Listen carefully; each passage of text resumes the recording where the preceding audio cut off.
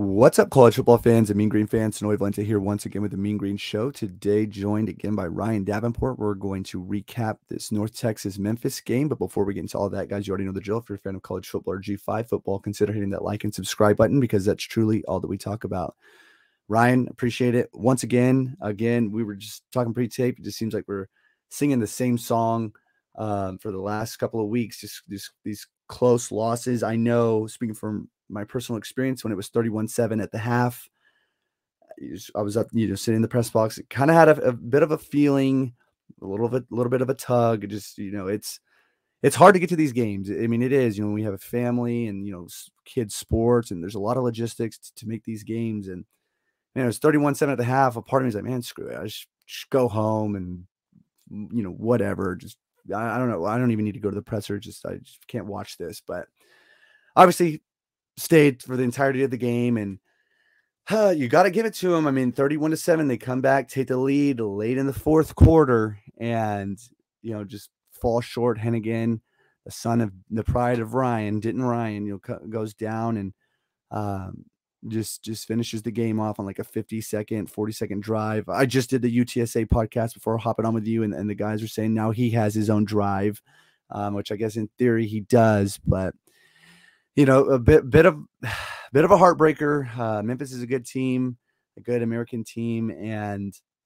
you know we'll, we'll jump into the weeds of things, you know, here in, in a bit. But Ryan, what are what are your initial initial thoughts on uh, on Saturday's game? I mean, slow start, very slow start, getting going, and uh, again, can't stop anybody uh, defensively. Uh, I want you know, I want to be excited to be at those games, and and that fourth quarter was exciting. Um, when he scored um, with 40 seconds left to take the lead, um, we were, you know, we were excited. We weren't in the game at all up until that point, but then the game was exciting. Um, but they but they left too much time on the clock. I, I don't think I don't think I really had any confidence that we were going to pull it out. I was hopeful we would. You know, I felt good. I was like, well, my my pick this week looks pretty good uh, with 40 seconds left. But um, yeah, we were we left too much time, and and we can't we can't shut anybody down. Um, I do have a couple of you know defensive uh, statistics to talk to talk about a little bit. You know, defensively, we're we're last in yards per game. We're giving up more yards per game than anybody else. Total yards? Total yards. And then we're in the bottom six on the points we're giving up per game. So, you know, that's not a that's not a recipe for success. Conversely, we have some guys, Maclin leading in TDs in the country, um, receiving TDs. Rogers is in the top 20 in quarterback yards and 10th uh, 10th in passing TDs. So it's kind of a tale of two sides of the ball. We've got a offensive team and we have zero defense at the moment. Do you think, I mean, being that you know Morris is is uh, is a branch off of the of the Leach tree, this is just what what this the, you know what this breeds as far as just high performing offenses and and, and defenses that that that leaves you know a lot to be desired. I mean, just you just see that with with I mean the USC's of the world. I mean, just just it just seems like a lot of these air raid offenses, for whatever reason, their defenses, you know, they're just they're just not they're not there. And and, and I, I don't know what the common denominator is, but do you have any thoughts on, on that statement at all? Yeah, uh, unfortunately, I think that is the case. I think that uh, Morris is a Leach disciple. You're going to see what you would see at, at Tech or then Washington State and Mississippi State is a lot of offense and no defense. And I, I don't know if they don't uh, hire coordinators or give them enough autonomy. I don't know if they spend a lot of time on the offensive side of the ball and not enough time on the defensive side. I really don't know what the uh, contributing factor to that is. Um, but I think I think we're bound to see more of it. I think I think we will get better on defense, but I don't think we're going to be I don't think it's going to be a focus of the team. It's not going to be part of the North Texas program that wins us games, if that makes sense. Yeah, I mean, you know, 42 points, you put up 42 points, that should that should win you a football game in, you know, in, in most worlds. But you know, I think I, I again we've all been hard on Caponi, you know, especially me. So I I, I don't have any insider information. I just I don't think there's going to be any move at DC, and, and I'm I'm not saying I don't think that's the right you know thought or, or moving itself you know to to keep caponi there for continuity and maybe you know there's a, a significant jump up but do you i mean again we're just regurgitating the, the, the past podcast at, at, this point but do you have faith that this that this team can can keep a utsa under 35 points no so you think it's going to be another UTSA scores 42? Probably.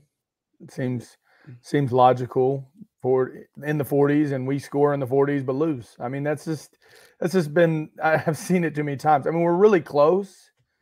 Uh, you know, losing 3 games by less than a touchdown, you're like, "Oh, we're right there."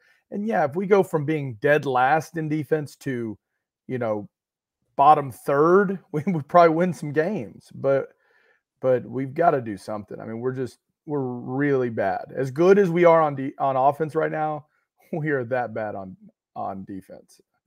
The offense yeah. is is great and the defense is terrible. Do you I mean, what are your thoughts though? I mean, like that that do you think Caponi will be back next year if you had to guess? I I don't know because to me it's not scheme. It's not a it, you watch the kids just miss tackles just get run through and miss tackles and that's fundamentals that's that's basic stuff I, maybe they're not spending any time on it i don't know maybe they didn't spend any time on it in camp but uh you know it's a combination of poor tackling and being in the in bad positions and i don't maybe you keep Caponi around for another year but i feel like you got to bring in more maybe it's different position coaches. Maybe you got to shake things up. We went through this with Coach Dodge. Coach Dodge brought a defensive coordinator in uh, who was frankly uh, outmatched uh, at the uh, college football level. He was a high school coordinator, I think. And um, I remember we went to Oklahoma first game of the season, and they put 72 on us, I believe, that game. And – I was playing defense, and I think we ran a base defense the whole time. We didn't change, we didn't stunt, we didn't do anything, and it was embarrassing. And I think Stoops said that in the presser after the game that it's pretty easy when they don't change anything, and we just we did nothing, and and that was called from the sidelines. They called nothing the whole game. And after that season, he was fired, and they brought in Deloach, who had been here before and came back, and he was at UCLA before he came in and our defense got a lot better. I mean, instantly got better. Um, and Deloach was a good coach to play for, and we were, you know, we weren't. It took us a little bit. We weren't like top ten defense or anything like that, but we were a lot better than the last place we were in uh, before that. So you got to shake something up. And I'm not, you know, I I've tried to be very, you know, let's give it time with with Caponi and but I mean we got to win some games here. We can't be this close and then just give people 40 seconds and they march down the field and put in the end zone. So I don't I don't know. Do you do you feel like hmm, do you have a score prediction for the UTSA game? I know you just kind of alluded to a 40 to 40 with, with North Texas having a close loss, but do you feel pretty if you, if you had to put your money on, I think UTSA is an eight point favorite. Do you think it's going to be a, a U, another North Texas covers but but loses ultimately? I think it'd be 42 to 35 probably. 42 35. Yeah. Um and then that if that was the if that happens, then they would have to win out to be bowl eligible, which that winning out includes SMU. Yeah, so, we're not, and I don't think we're. I don't think there's any way we're beating SMU. Yeah, just because I think with with Memphis and even to some degree with UTSA, definitely with Navy and some of these other teams, we came in and we had a chance. And you know, Memphis is a hard comp- uh, opponent, but they let us hang around and and get back in at the end of the game. SMU always gets up to play North Texas. They always they if they have an opportunity to put 70 points on us, they will. And they don't like another school from the Metroplex trying to be in their same conference, trying to be at the same level as them. They hate it. So to them, they're going to be up for that. And I think that they uh, put a bunch of points on us. Um, you know, maybe there's some opportunities to win some games at the end of the year, but I think it's going to be tough. Uh, if you, I don't think you're going to be able to take down SMU. So, yeah. So this is real. This is really it. I mean, you know, if, if Morris, you you know, was to pull off the upset against SMU, or I'm sorry, against UTSA, not SMU. I'm with you. I think SMU's just forget it. But as far as UTSA goes, do you think? I mean, I mean, it's a short tenure, so it's not really saying a lot. But it's probably definitely would be his biggest win, definitely as a, as a North Texas coach. Um, kind of kind of going over the offensive side of the ball. You know, Rogers passes for over 400 yards, five touchdowns. Ayo Adeyi rushes for over 100. Oscar Adaway rushes for 87. So Coach Cobbs's room is still reigning strong, even with Isaiah Johnson being out. Uh, mm-hmm. Uh, you know, for the um, really probably the length of the rest of the season. There, there's a another guy, Quaylon Farrar. I'm not sure how much he'll get used as real speed guy out of South Oak Cliff, but there's a lot that goes in into playing running back. You know, pass protection, right? You know, just knowing different types of keys, and you know, it's more than just taking a handoff and flying right. down the field. So, I don't know how much they're going to utilize. Um, another back outside of Ayo and Oscar might just be they get the lion's share from from here on out, uh, assuming they can both stay healthy. So we'll see how that goes t- continuing to go to Landon sides. Um, and we only had three yards for 20, actually three receptions for 26 yards. But again, they're, they're working the young, the young freshman there. Uh, Roderic Burns went over the 2000 mark, yep. top, top 10, had a really monster game, three, three touchdowns. Maclin, you know, two touchdowns, 45 two touchdowns. yards. Yep. Yeah. Maclin's doing, doing his thing. So yeah, I, you know, I just, I don't know. It's I mean, just, they're so you know, close. Congratulations to Burns over 2,000 yards, and he had a he had a great game. He really did, and Maclin looked good too. The offense looks good. They they really do. I think they're taking a long time to get started.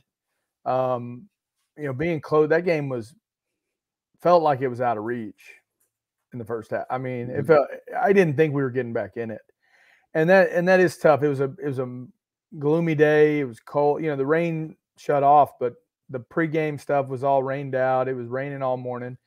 And I, you know, I think there's a lot of people there that want to see a game. And, you know, at halftime, if you're down like like they were, you people are heading for the exits, like you said, like you alluded to.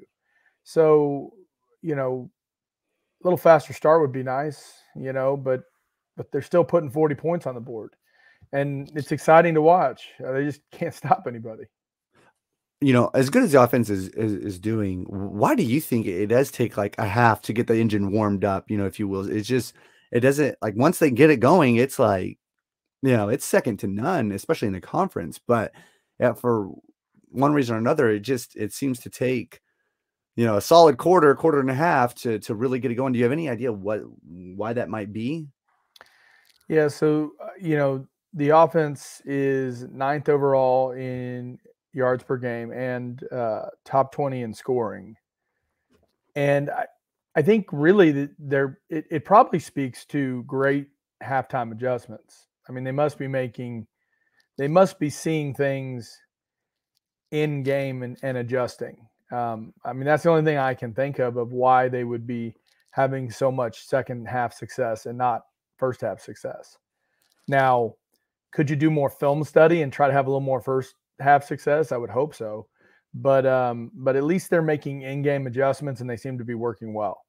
Um, defensively, I don't I don't know what we're doing. So yeah.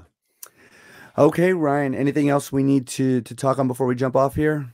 Uh, what do we have? UTSA coming in town this week. Yeah. Um, I guess you know I think that hopefully we can get people out and and uh, try to finish the the season strong.